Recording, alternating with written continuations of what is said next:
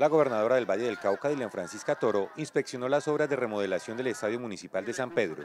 Las adecuaciones a este escenario deportivo permitirán continuar fortaleciendo los semilleros deportivos del municipio para forjar los futuros deportistas Valle Oro Puro. Muy bueno porque nos ayuda a fomentar el deporte en nuestro municipio muy bacano porque al fin los niños podemos estrenar algo que nos hizo la gobernación para nosotros y también para otras personas. Entonces me parece muy bacano. Muchas gracias porque es algo muy bueno para nosotros y ahí podemos venir a entrenar, a jugar.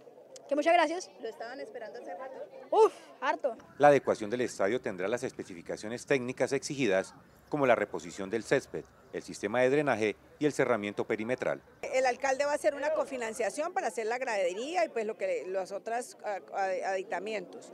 Pero es, es, es muy importante ver que los niños están esperando su estadio.